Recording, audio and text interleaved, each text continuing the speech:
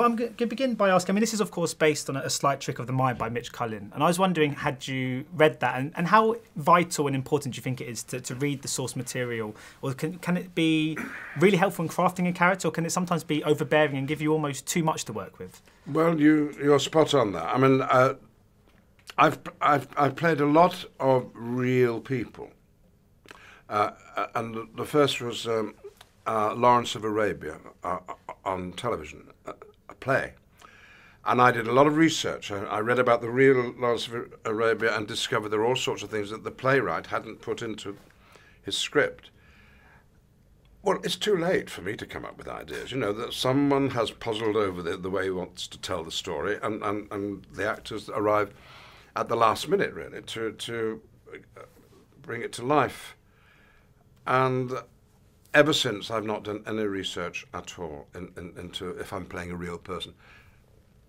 Now, if you're playing Hamlet, you might want to delve into psychoanalysis and uh, the inner behaviour of, of, troubled young men uh, as, as a, some sort of background material. And for Sherlock Holmes, if you're playing him, you might want to read up on some of the novels or look at other people playing Sherlock Holmes. In fact, I didn't do that. On the grounds that the script was self-explanatory. It, it, was perfectly clear what it was all about.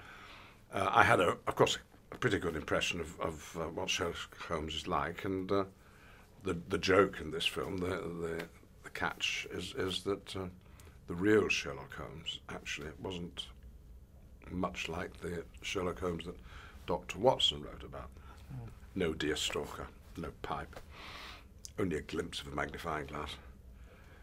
But um, research has got its limits.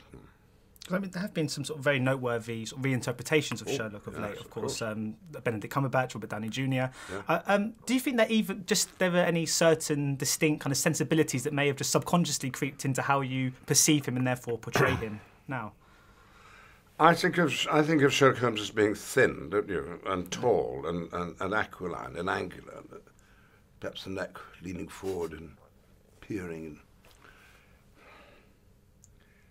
But it would be no use me sitting through Benedict's uh, wonderful series or, or, or, Robert Downey's because that was nothing to do with the script that we've got.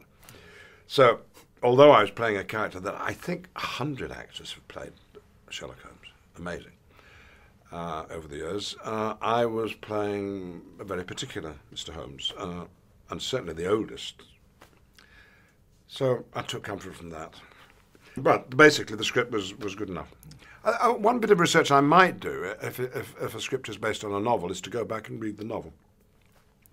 Because sometimes there are things in there which are glancingly important. Hmm.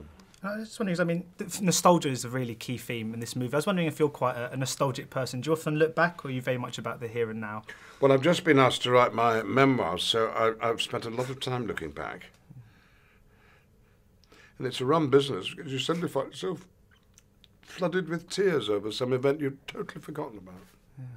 And, and little things come back to your mind, you know, suddenly, oh, it was a sunny day that day, you know, things that, how, how do you remember that? But on the whole, I'm aware of the past. I'm, I'm, aware, I'm aware of where I've come from and where I've been. Although at 76, you forget a lot, and so there's an awful lot I have forgotten. But the trick, I think, is to live in the present and look forward to the future. The past, I mean, what can you do about the past? Just make sure you don't repeat your mistakes. 76 as of yesterday.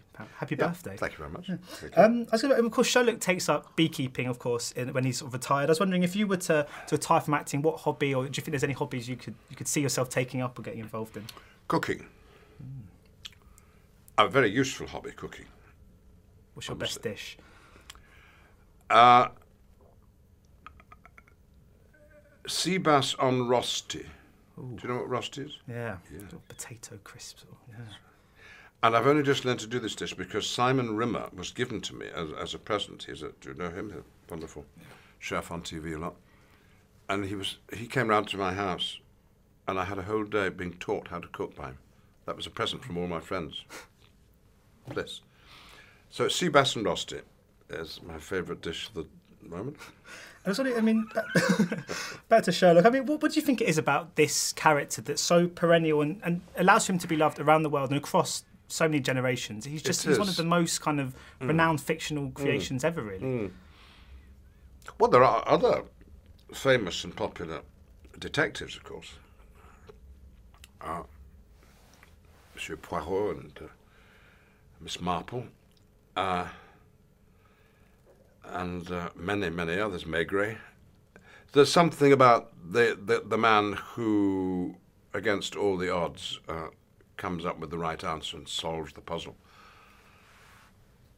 But why Sherlock Holmes in particular? I think perhaps because he was the first of them in, in literature uh, to popularise detection.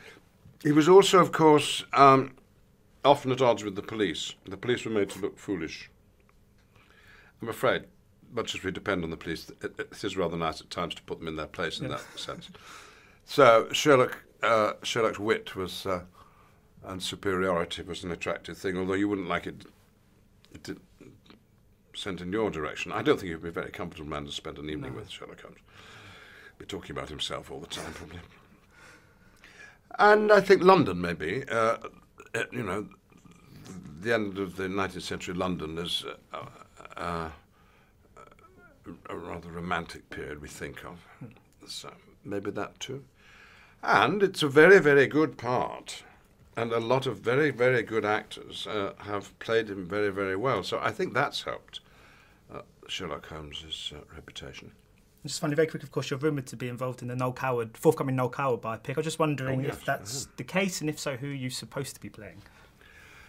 Uh, it, it's a film by Martin Sherman uh, about uh, Noel Coward as a young man. Uh, and I shall play Charles Hawtrey, who was a successful actor who taught um, the young Noel how to laugh, to fake a laugh, and, and other things too. so, yeah, I think Vanessa Redgrave's going to be in it as well. Yeah, I'm looking forward to that. Uh, and then before that, I've got um, a play called The Dresser, uh, which we've revived for uh, BBC t- TV with Anthony Hopkins and me. I'm gradually working my way through the knights. You know, uh, Patrick Stewart. I did some with uh, Tony Sher on The Hobbit, uh, Derek Jacobi and Vicious, and now uh, Anthony Hopkins. I I think I've only got Gambon left now uh, to work with. Well, I look forward to that happening. Thank you so much for your time All today. right, much nice to see you. appreciated. Thank you. Bye-bye. Cheers. Ladies and gentlemen, you're watching Hey You Guys! Hey, you guys, huh? Hey, you guys. Is that from the Goonies? It is indeed, yeah. Nice. Hey,